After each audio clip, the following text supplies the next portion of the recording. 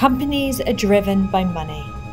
So putting a price on carbon emissions should encourage businesses to stop polluting, right?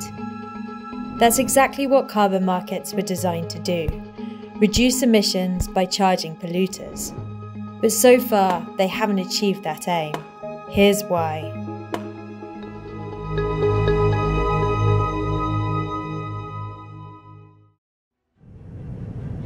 Towards the end of the 1980s, America had a problem. For years, its power stations had been emitting large amounts of sulfur dioxide, which was falling back to Earth as acid rain, causing harm to plants, aquatic animals, and infrastructure. But there was no incentive for the power plants to stop emitting sulfur dioxide. Weather warnings and acid rain alert is in effect. So in 1990, the American government launched an experiment, passing a law to force polluters to pay for their emissions by establishing a new kind of market, governed by a system called cap and trade. Eight years later, acid rain levels over large regions in eastern America have fallen by 20%, and a new way of cutting emissions was born. In 1997, the International Climate Change Treaty, known as the Kyoto Protocol, suggested applying the concept of cap and trade to carbon. In the years that followed, different countries and regions set up their own carbon markets. Many of these used cap and trade, and this is how it works. A government sets a cap on the amount of CO2 that can be emitted by an industry. It splits the cap into permits and either gives or sells these permits to firms. If a company doesn't use up all of its allowance, it can sell what it doesn't need. If it needs more permits, it can buy them from those with spares. Each year, the cap gets stricter, and the shrinking pool of permits gets more expensive. The genius of cap and trade systems, when they're done properly, is that they both use a stick and a carrot that gives them an incentive to innovate, to get cleaner and cleaner. It provides that carrot for innovation. And that trading mechanism, the magic of the market, unleashes those animal spirits in favor of decarbonization. While regulation can introduce a new industry standard, it doesn't give firms an incentive to cut emissions below a certain level. But a carbon market creates a race in which companies are motivated to cut emissions as fast as they can. The more they cut emissions, the fewer permits they have to buy, and the more excess they have to sell. So, in theory, in a cap and trade market, carbon dioxide emissions should fall, but in reality, they've continued to rise. Because incentives only work if they're big enough. Now, carbon markets are great in theory, but in practice, we run into a problem. Carbon prices have been far too low to motivate change that's needed to decarbonize the world economy. According to Joseph Stiglitz and Nicholas Stern, two economists, in order to meet the Paris Agreement goal of limiting global warming to 2 degrees above pre industrial levels, the price of carbon worldwide needs to be between 50 and $100 per tonne by 2030. However, the majority of carbon prices still remain far below that figure. What's more, even if carbon is priced appropriately, the fines for exceeding permitted levels are sometimes ineffectively low. In the EU, a fine can be as low as 100 euros per excess tonne. Considering that's not much more than the price of a permit, it's hardly a deterrent. And that's if firms even get caught. Now, in theory, uh, regulators enforce carbon prices and permits, but in practice, it can be very challenging. There's measurement problems, direct emissions versus indirect emissions. Uh, there's questions of cheating, for example. You find in most markets around the world, enforcement is lax and punishment is not great.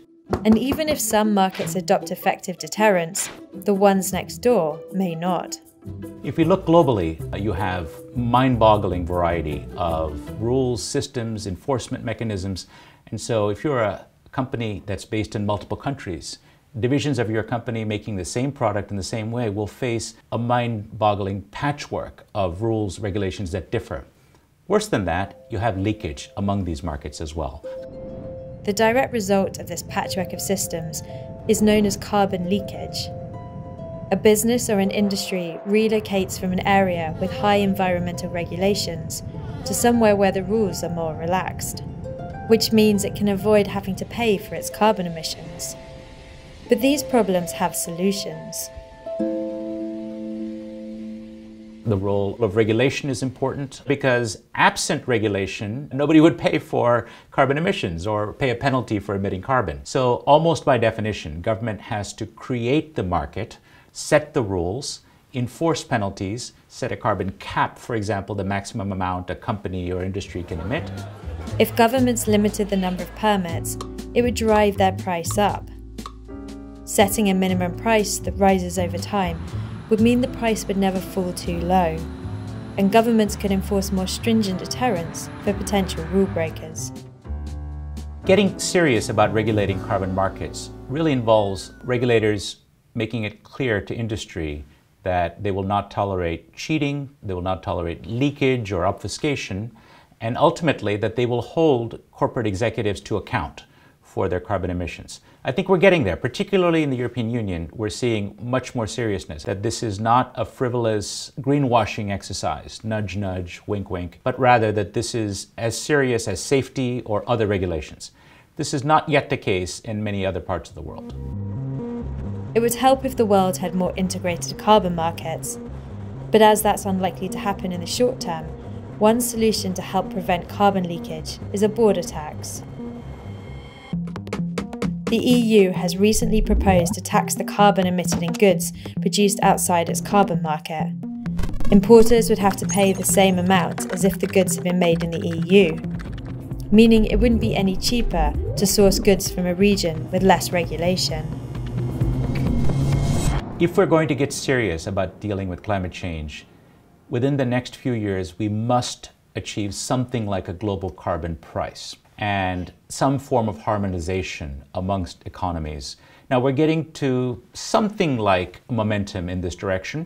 The big kahuna is China because it's such an industrial powerhouse, it's so carbon intensive. If it doesn't get serious and work with other economies to harmonize carbon pricing and carbon trading systems, then most of the world's efforts will probably be undermined by the fact that countries like China are producing heavily carbon intensive goods, and we'll see multinationals shifting production to those places even more than they have in the past. As climate change has moved up the political agenda, governments are starting to improve how their carbon markets work. Since 2019, the EU has been taking steps to reduce the number of permits it hands out. Partly as a result, carbon prices in the EU are now hitting record highs of over 60 euros per tonne. Carbon prices in other markets are also rising as regulators look at ways to make them more effective. If it seems that money can be made, other countries might create their own markets. We have seen just in the last 12 to 18 months a dramatic takeoff in carbon markets. This is a really exciting time for people who believe that there is a good marriage between public policy and regulators and markets and innovators. If prices stay high enough, helped by commitments from governments and regulators, then greener industrial processes would become more attractive. And carbon markets could start to achieve their original goal of helping to decarbonise the world. I'm Vijay Vaitheeswaran, The Economist Global Energy and Climate Innovation Editor. To keep up to date with all of our climate change coverage, please click on the link. Thanks for watching, and don't forget to subscribe.